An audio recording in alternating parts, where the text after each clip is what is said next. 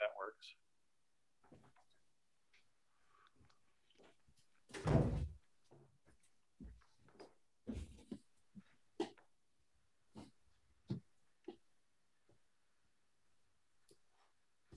All right. So whenever you're ready.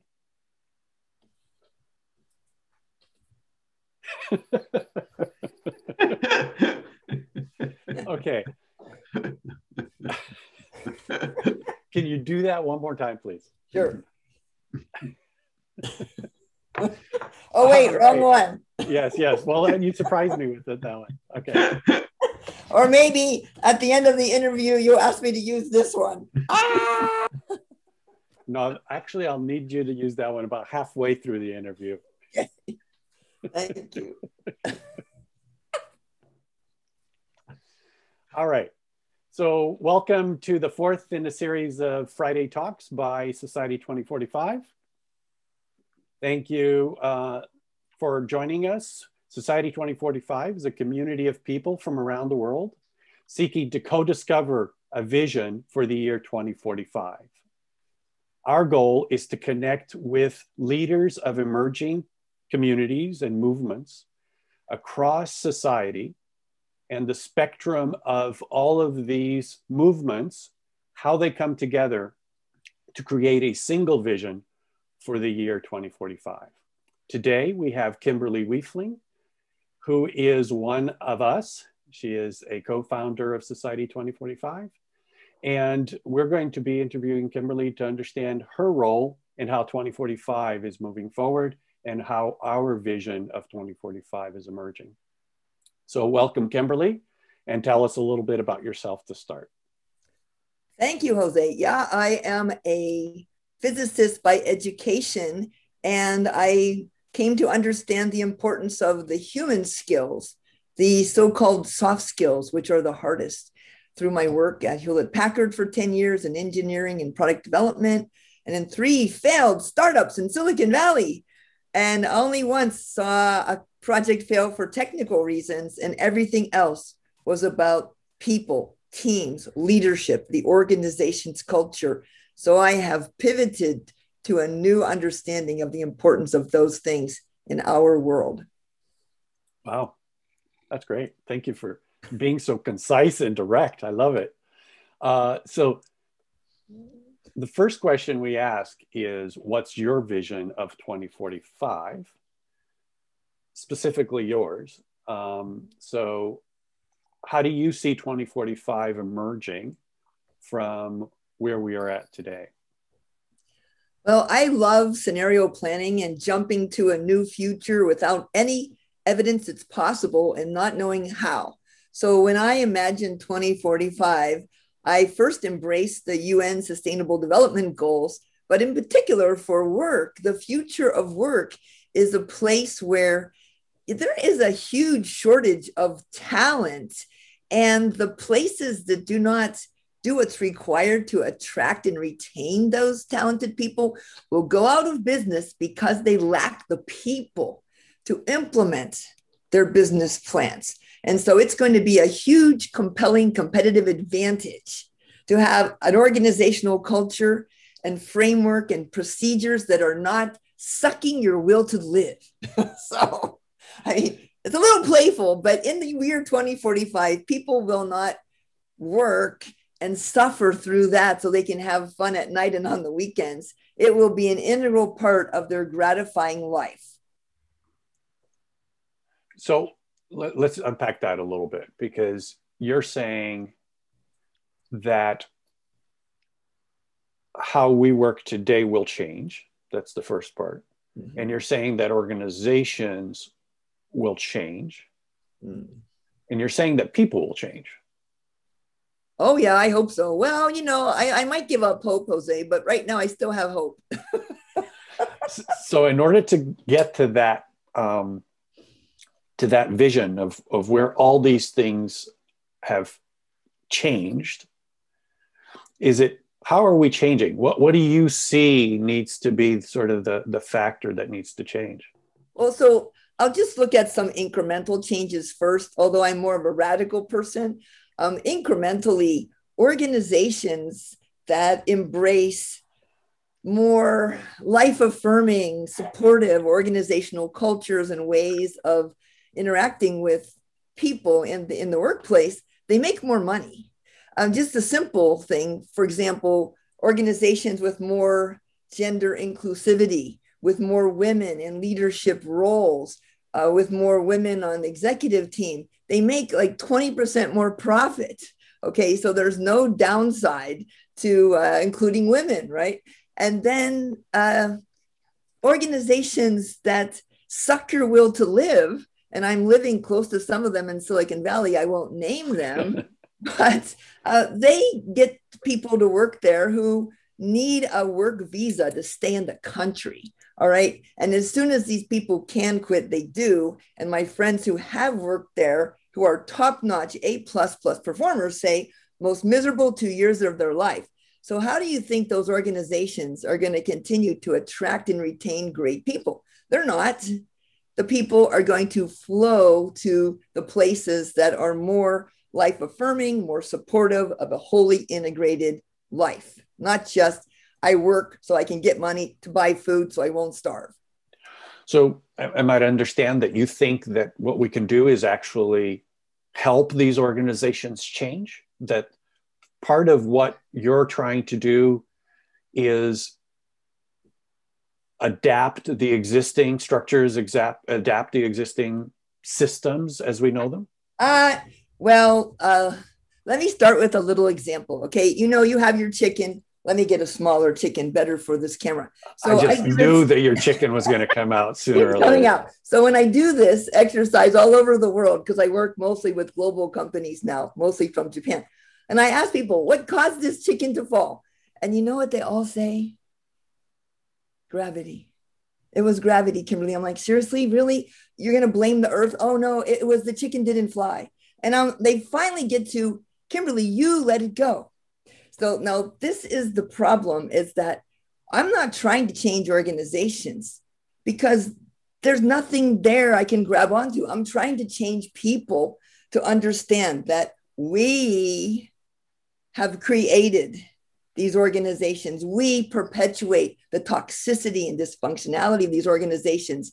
And ain't no one coming to rescue us. We are going to be the ones who change it.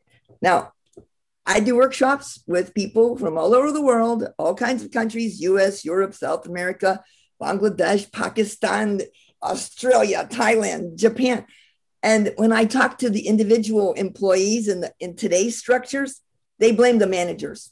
And all the data supports, you know, Gallup data supports the managers are number one cause of low employee engagement.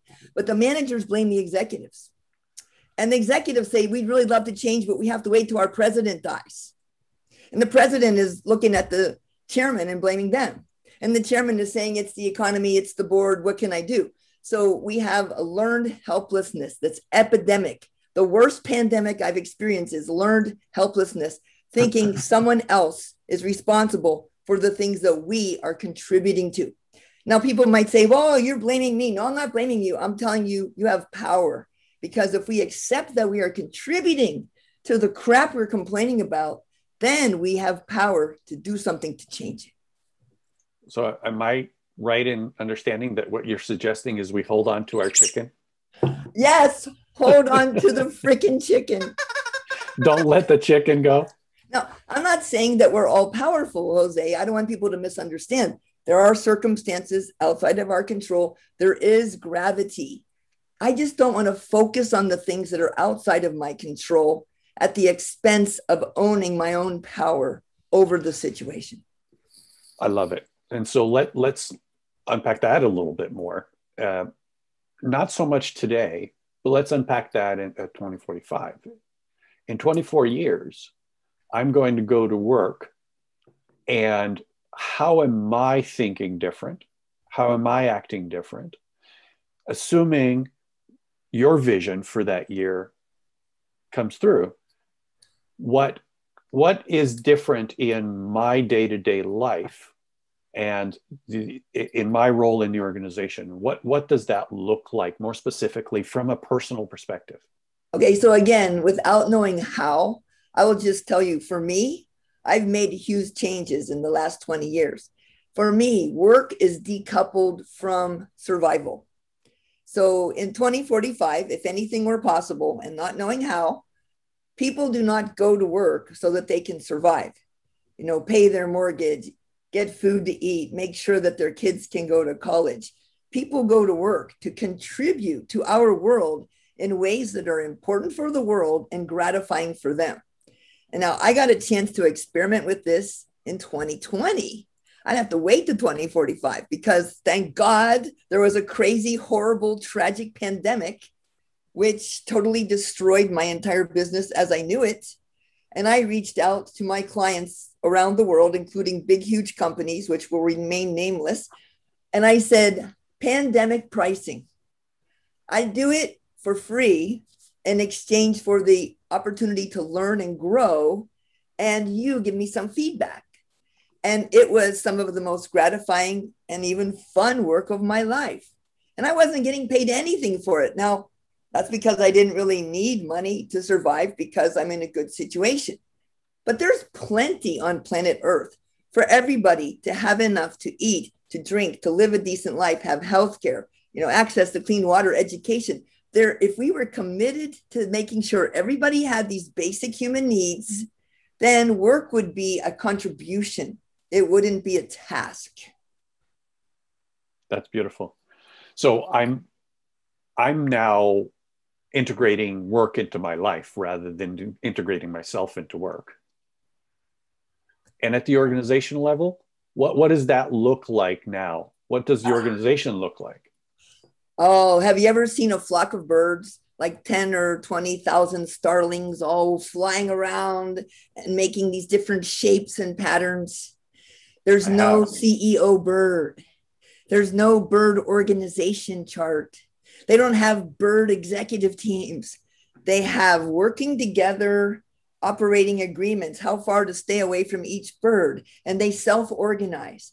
And I envision a world where the work that needs to be done is made obvious through some means I haven't yet imagined, and that those who are compelled and moved to do that work gather around it and when that work is done, they gather around the next thing.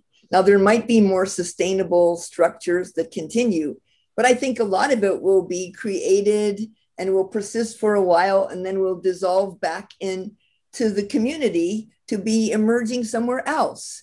And this is this is kind of based on my physics background, right? It's chaos, it's complexity, it's emergence to fill the need rather than command and control, which by the way, even the US military does not use in combat operations anymore. And so, what I'm hearing, and this is getting me all excited. So, what I'm hearing is that it's emergent, that these, these organization type things, whatever that looks like, is an emergent thing. But mm-hmm. also, I wonder then if it's emergent for me to have a specific organization that I'm working with because of the, the current need is it possible that there are multiple organizations that I'm contributing to? Oh, uh, because- it's essential. It's essential. I mean, I'm working with a number of different so called companies. These companies are nothing more than a website. I mean, it's a group of people that come together to meet a need, and then we disperse and they go about their business. We come together with a different group for another purpose. And I have the freedom to do that right now because my work is decoupled from my financial needs to survive. But I envision a world where everybody could afford to self organize around whatever emergent needs there are in multiple communities. Is it possible, do you think, that we could? Sorry to cut you off there. No, no, that's okay. Go ahead. I was going to say, is, is it possible, do you think, to uh, envision that what you've just described but that we not only have protocols for how we work together, but we have protocols for how we compensate that are just as uh, emergent rather than this uh, I get hired and somebody gets to tell me what to do and I'm uh, an employee and all of that kind of stuff. Absolutely. I think if people come together and do something of value, create value, receive value, then they should share that value in some equitable way. I've been experimenting with that in my Silicon Valley Alliances tribe. Um, we pull people in to work on different kinds of projects, sometimes with huge companies that everybody knows the name. And at the end, when we get paid by those granted traditional organizations, I put up a big Google spreadsheet and I ask everybody who was on the team that delivered, how much do you think you should get? How much do you think I should get? Please give the percentages. And then we get maybe two, three, four, five people weighing in on what percentage everybody should get. And then, as the person who was the lead pulling people in, I have to decide. And what I've been doing for the last four or five years, I pay everybody else a little bit more than they say they deserve, and I pay myself a little bit less than they think I deserve. And everyone's been pretty happy with that. So it's really uh, revenue sharing. Of course, we pay all the expenses up front, and it's completely open and transparent. Everybody can see what everybody got. And the cool thing is this hey, if you don't treat me right financially when I'm on your team, I'm not going to invite you to my team. So this is based on kind of an iterated prisoner's dilemma model with reputation score, where how you treat each other carries forward to the other interactions that you're going to have together in your community and your reputation influences how other people who didn't work with you think about you. I call that interdependence. Ah, I love it. Tell me more about interdependence. Well, it's this interview is not about me; it's about you. So, thank you. so, I, I'm really liking the picture. The picture, though, you keep saying that you don't know how to, but it sounds like you are doing it. Right. I am experimenting. I'm a cut and try kind of girl. I do prototypes, I do iterations. It's a design thinking approach. Heck, I'm in Silicon Valley. So here we build success on a big pile of failures. We don't call them failures though, we call them prototypes. So I've been experimenting and hasn't always worked perfectly. There's been some misunderstandings. Uh, but I think we have to be committed to finding new ways of working together. And, for me, the worst thing that could possibly happen is for me to be offered a full time, steady job with a steady paycheck. I very much know the feeling. so so let me ask you a couple of questions because we're going to be running out of time if we don't get to these. Mm. Um, first of all, this vision that you've just described, which I love, if what what part of I shouldn't say if what part of, of the other movements that are out there, many of our colleagues here at Society 2045, others around the world that you know of. Um, which of them do you think needs to become um, successful in their vision in order to enable the vision that you've just described? Well, I've watched the holacracy movement, and I have to say that organizations are never going to be completely flat. Everybody knows who was the founder. There's always hierarchy. And by the way, the human brain really likes hierarchy because status, when we're denied status, the, the firing in our brain is like the same as physical pain. So I don't think that just trying to flatten the organizational structure is a complete panacea. I do think it will move us a little closer to where we need to be. If somehow we got to the point where there was a huge, totally transparent dashboard a global marketplace of what needs to be done and who's out there to do it. And there was some kind of AI engine matching us up with the opportunities and making sure that the rewards were fairly shared, then it would be easy and effortless. I'd get up every day, I'd punch up my dashboard, and it would say, Oh, there's seven things in the local area and 15 things virtually that you could do today, Kimberly, that would contribute to something of value. And some of them are highly compensated and some of them are not. But then I would choose based on what makes sense for me, my needs, and my desires. Maybe you can invent it. We, we've already done so, but that's a that's a different story because part of a, a group that uh, I participate in is is creating something we call uh, One Life, and mm-hmm. that very much is what we're talking about is that process of being able to identify what impact do we want to make Mm-hmm.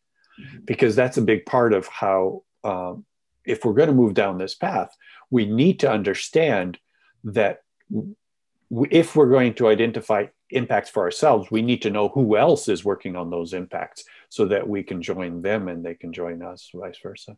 So, um, do you see some roadblocks possibly? Like, what, what the other question, the opposite question to the one I just asked is okay, so what of these different visions of the future that are out there from from other movements are any of them things that you think well if, if that comes about this is going to be a problem for us oh yeah now i got to tread into dangerous territory because this can easily be misinterpreted. But i want to say that i don't think any human being on planet earth should have to worry about will they have food water a safe place to live healthcare and access to education that should be kind of a no-brainer everybody has access to that by virtue of being on planet Earth. I'm not saying socialism, I'm saying humanize our life on planet Earth. It's just unconscionable to me that I live near San Francisco where one in five kids is hungry. I don't feel good about that.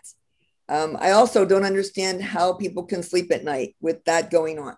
So we have to find a way to say, hey, let's create some kind of basement of we all have our basic needs met. And then we work to contribute, to have meaning in our lives and for joy, and to build our reputation score.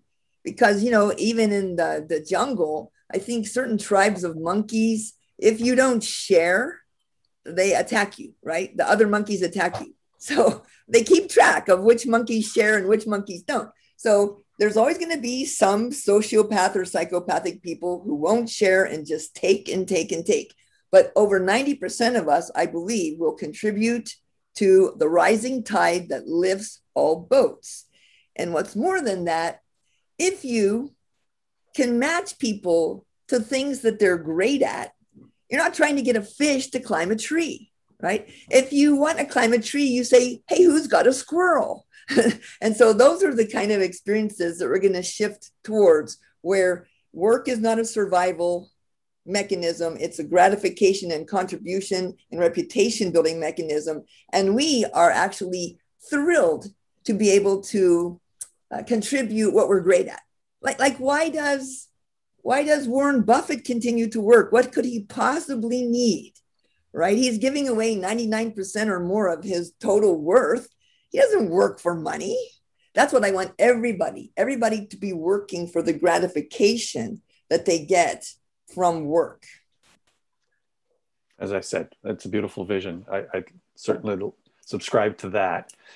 Um, so, last question for you: If if this vision is realized, and we get to 2045 exactly as you've just described, what do you think the rest of society looks like? Not work, but our families, our communities. Yeah, it's going to be interesting, Jose, because there's going to be still this need for status. So people are going to perhaps compete to be the most giving or compete to be the most contributing to their community or to do the most good for planet Earth, right? So status might take a whole nother bent in the direction of what good are you bringing to our world? And that's what's respected. And what we value now, what some people value now, the glitz, the, the fame, the richness, going to outer space and spending trillions of dollars like that, that might not be so well respected. It, it might be more valued to help children uh, learn values and explore their strengths and learn to evolve into the highest and best version of themselves. Well, well thank you very much for that. That's um, that's a, an amazing vision. I love it, and I think it it obviously fits very well within the 2045 vision that we've all been co-creating. Um, well, and I just want a warning to people who hear this and think, "Oh, that's impossible." In 1895, Lord Kelvin, physicist and mathematician and head of the British Royal Society, he said, heavier than air flying machines are impossible. Okay. He didn't say they would take hundreds or thousands of years and rely on technology I can barely understand. He said, heavier than air flying machines are impossible. And this is when there were birds. Okay. Birds are heavier than air. And so right now we're in the midst of examples of exactly what I've described. And yet there will be people who say it's impossible, it can't be done. Well, less than 10 years after he said it was impossible, there were flying machines called airplanes. And this is what's going to happen because the alternative is to devolve into a society I don't want to wake up to. Nor do I. Nor do I. Kimberly, thank you so much. This was a, an amazing amazing conversation. I hope we get to do this again. Thank you. to all the chickens in the world, thank you, Kimberly. All right, so we'll leave it there. I am going to do a clap, clap, clap for the video so that it's easier to edit. And now we can ask some questions if we want. Um, Stuart, would you like to ask some questions of Kimberly? You know, I, I, I, I really don't have any questions because, because my vision is so perfectly aligned. Okay. You know, it's just, that's, that's, that's, that's it. I know um, she made it really hard for me too because I kept thinking, okay, what do I ask now? Because well, I'm I have nothing to probe. I have nothing to go into and say, but, but, but. Right. There's no I, there's there's no buts here. Mm-hmm. I spent plenty of years, and I'm going to use this term. It's a little dangerous, but I felt for many years I was a wage slave. I did a job I didn't really like with people who didn't treat me right for a company I didn't respect just because I had to to survive. Then one day, a few years ago, I realized I have enough for beer and pretzels retirement. And at that date, I said, I'm not doing anything for money that I wouldn't do for free. And I have been true to that. I have fired clients. I go in and work with clients like this. I'm going to either be successful at helping you make the necessary changes or you're going to fire me. I honestly don't care which.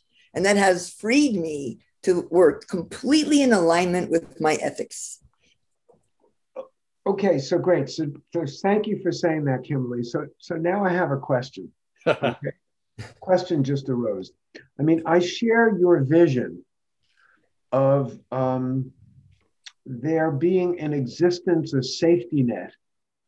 And I, I don't even mean a safety net. I mean all right. So my premise is that we don't have a resource problem on planet Earth. We have a distribution channel challenge. There's more than enough here for everyone. It's a question of getting enough to everyone so that each individual can pursue their artistic talents, their best work, um, and, and live a, a, life of freedom. Okay? Um, so, any thoughts about how we actually get there from here in terms of um, practical programs, um, changes of thinking. Um, there you go. Mm-hmm. Well, so let's just take the issue of stuff, stuff that we think we want or need. There is something on Facebook called Buy Nothing, and each community organizes around this Buy Nothing. So I'm in Buy Nothing, Redwood City. If I go and look at what's out there, there is everything from baby clothes to frozen burritos to people asking for used makeup. And you go out there, and if you look down the list, there's all kinds of things. You don't have to go to the store, you can share. You, it can be the community resource pool. And I think that's easier to do locally because people can go over to each other's house and get stuff. Um, so I think sharing the excesses rather than wasting it will go a long way in that direction. Plus, look at a larger scale. In India, for example, where there's so much poverty and hunger, if there was no food rotting in India, there would be a net surplus and there would be exporting. I know this because one of my clients makes an oxygen barrier that's used for a giant grain bag that can keep grain from rotting for long periods of time.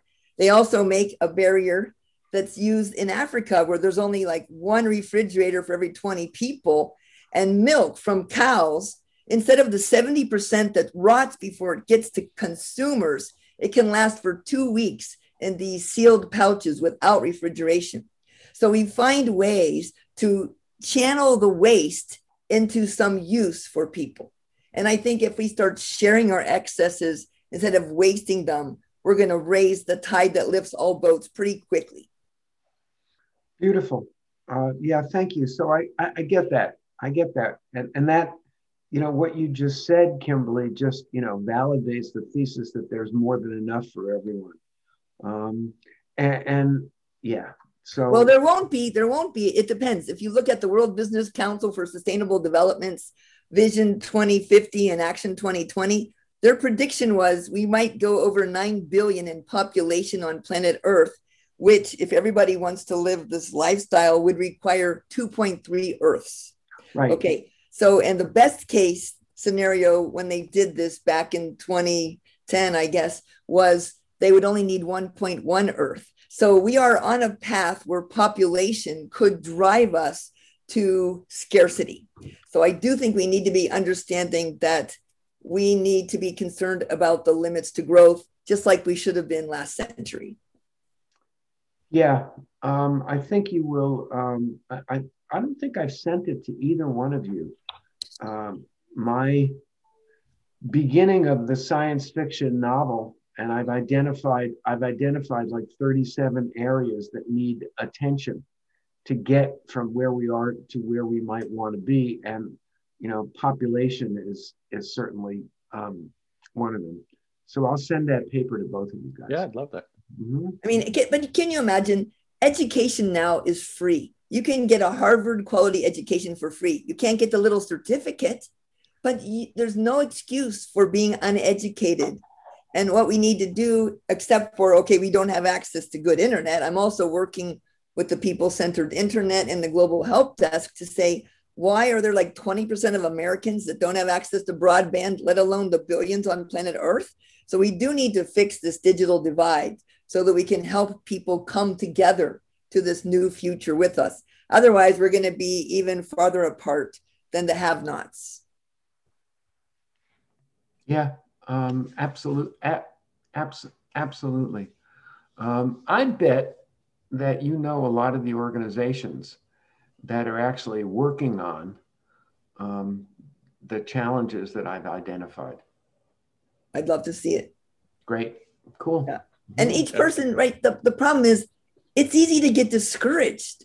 What do I do? I'm this little drop of water in the ocean. So we need to somehow create a dashboard for planet Earth so people can perceive their positive or negative impact on our world.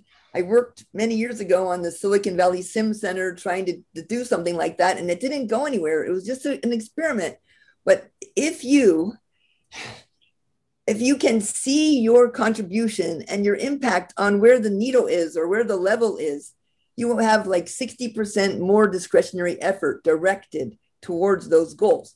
Like think of the United Way thermometer fundraising. You have a thermometer. Here's where we are. Here's where we want to be and people know exactly what to do when they look at that thermometer. You add money, it makes the red go up. And so we need to make it much more clear people's consequences of their choices, of their actions on themselves, their communities, and our world.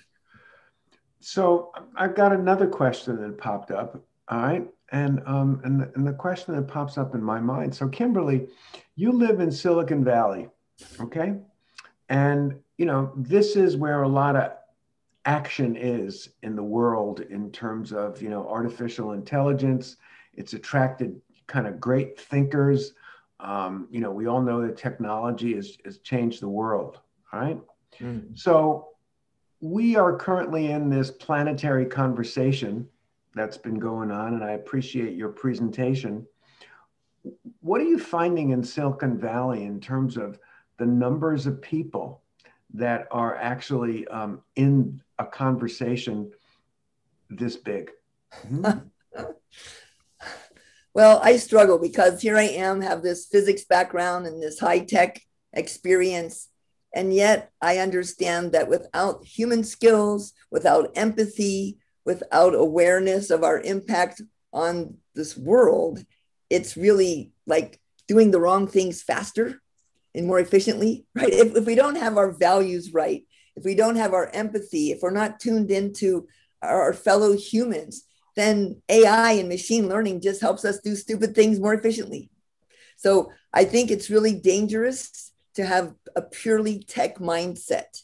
Now it's starting to be recognized that a tech mindset without appropriate empathy and organizational culture and human skills, what some of my friends call touchy feely crap, without that, it's really a sociological disaster. And I think we can see that kind of thing in WeWork or uh, Uber, the kinds of things where billions of dollars in valuation evaporates overnight because they didn't think about leadership and the quality of their organization and their team.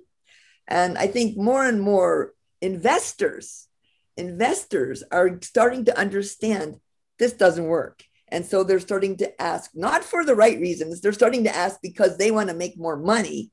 Let's do these soft skills, human skills, leadership skills. I mean, I don't think we can really fix it by just upgrading the existing organizations. I do think it's kind of an interim solution. We do need to get to a place where people are all like me saying, I'm not doing anything for money that I wouldn't do for free and I'm going to do only what needs a Kimberly. I'm a fish. If you need to climb a tree, I'll help you find a squirrel. So, from your experience, do you think that we have the um, capacity, um, the knowledge to transform people and to do it quickly? Yeah, actually, that's so funny because I was so surprised. I was invited 2007 to start going to Japan. I've been to Japan over a hundred times. I work mainly with Japanese companies like Yamaha Motors, Kuraray, and other big companies. And I was hoping I could help them, but I was amazed. Even in like a one day workshop, they contact me and say, Kimberly, you have changed me.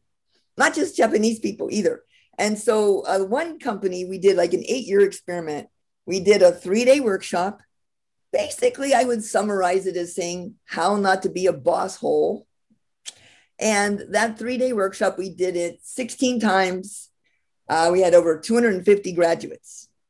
And this is a company that does business in 110 different countries in the world. And it's one of the top five companies in Japan. And they had 22% of people quitting every year. But when they looked at my graduates over a seven year period, only 13 people out of 250 had quit in seven years. Now I said, Oh, no, come on. You sent me people unlikely to quit. And they said, No, because they also checked the people who reported to my graduates who had never met me and my team, and only 12% of them quit. So we were able to reduce voluntary turnover from 22% to 12% among people who never met us just by teaching their managers how not to be a boss hole. So it just so, took three days. Yeah.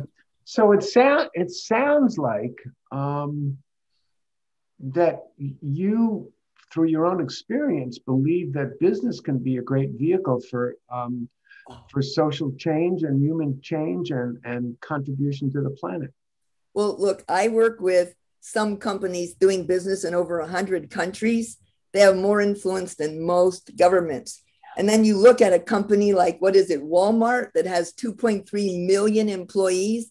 That's more people than some countries on planet Earth. So, yes, if we can enlighten the consciousness of the human beings in these big organizations that are so called leading them and help them understand that embracing this new paradigm will actually increase revenue, increase profit, reduce voluntary turnover, increase customer sat, increase quality, reduce theft. Everything gets better when you do these things. I think we're going to have a much greater impact than any government and even the United Nations. So uh, I know some organizational consultants who have completely given up on that possibility thinking that that the systems in place and the mindset in place are are just um, make it kind of impossible to um, manifest the vision that you're talking about. What would you say to them? Well, I'd say read about Lord Kelvin and saying things are impossible.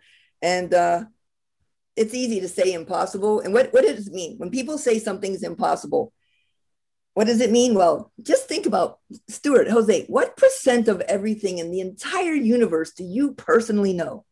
What percent? Is it, you know, 50%, 20%? well, yeah, most people tell me less than 1%. So when somebody says something's impossible, it means whatever they know, the little 1% that they know, they can't imagine how to do it. But something in the 99% that they don't know could make it possible, maybe even easy, perhaps inevitable. So I would say be open to the possibility that something outside of your own experience and knowledge could make impossible inevitable. Great. I, I so appreciate your um,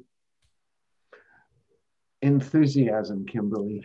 It's just it's just so incredibly um, refreshing to watch and to and to listen, especially from you know with someone who's got a a technical and scientific um, background. That's right. I am a scientist. I look at data, and you can always find evidence of why things won't work. In fact, negative people appear smarter. There is a payoff for criticizing, condemning, and complaining. And I call them the cave people, citizens against virtually everything, right? So, but for, what I prefer to do is to say, okay, what's possible? What seems impossible, but if it were possible, would transform whatever we're trying to transform for the better. And then what might make impossible possible? Take necessary risks, experiment, prototype, learn from mistakes, and fail forward together. Now, if we can create that kind of environment, that is going to transform the planet. You're right. There are some organizations that will never change. There are people who will hold on to their power. There are dictators. There are tyrants. Absolutely. And if you want to find examples of other kinds of organizations and other kinds of leaderships, they are out there as well. And if you and I have a choice which leaders to be attracted to, I think you know which we would choose, right? Yeah. Can we do it fast enough? um, um, that's a good question. Yeah. Well, I don't know about that. I haven't run the simulations. I worry. I worry that it's not fast enough. And I especially worry about can we stay ahead of the needs because of the population growth on the planet? You know, if we could say today, let's give everybody everything they need for basic subsistence, then a couple of years from now, we're another 100 million people that we need to deal with. It may be that our problems grow faster than our ability to deal with them. I don't know. I hope not. I personally didn't have any children specifically because of this reason. Yeah. Sorry to sorry to be jumping in so much here, Jose. No, no, no, no. This these are great questions. Uh, Matt does the editing, so we'll see how much he, he, cut it off. uh, but uh, wh- why don't we wrap it up there, though? That okay. way we can uh, give him uh, not too many hours of editing. Thank you so much, Jose. Thank you, Stuart. It's been a delight.